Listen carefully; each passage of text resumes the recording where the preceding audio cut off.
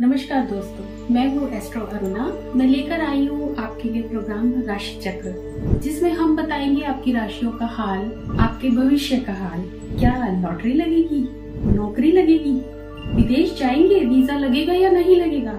संतान कब होगी? शादी कब होगी? क्या कोई नया साथी आने वाला है लाइफ में? चलिए शुरू करते हैं नया सफ़र मेरे साथ, यानी एस्ट्रो अरुणा के साथ। नया कार्यक्रम राशि चक्र नमस्कार दोस्तों, मैं हूँ एस्ट्रो अरुणा और मैं आज लेकर आई हूँ कन्या राशि वालों के लिए मार्च का महीना कैसा जाएगा।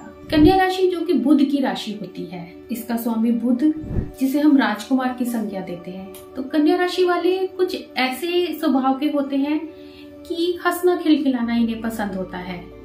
ओम गण गणपत्य नमा का मंत्र इनके लिए बहुत ही शुभ साबित होता है।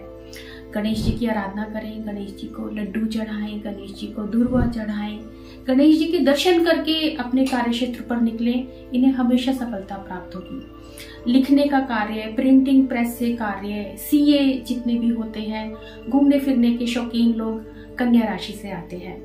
कन्या राशि एक बेहद ही भावुक राशि होती है। तो अब हम जानते हैं कि कन्या राशि वालों के लिए आने वाले महीने में करियर कैसा रहेगा। लेखन से प्रिंटिंग से ऑनलाइन से संबंधित कार्य कन्या राशि वालों के लिए मनपसंद कार्य होते हैं।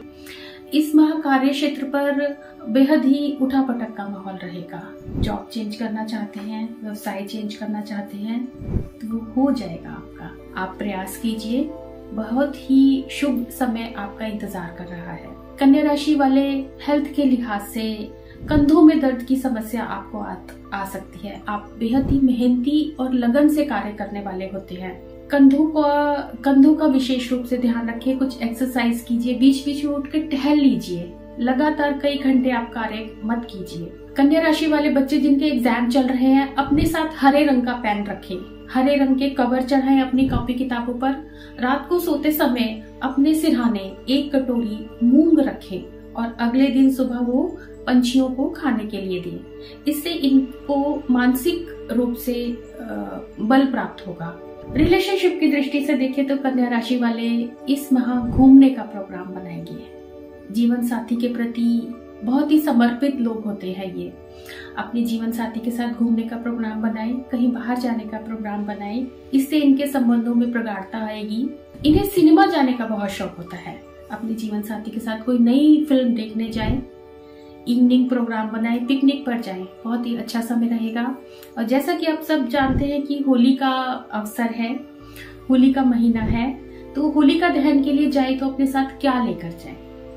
आप हरे रंग की साड़ी पहनकर जाए जब भी होलिका दहन के लिए जाएँ, गाय के गोबर के उपलों की माला बनाकर लेकर जाएँ। इस बार जब आप होलिका दहन के लिए जाएँ तो अपने साथ हरे रंग की मिठाई लेकर जाएँ।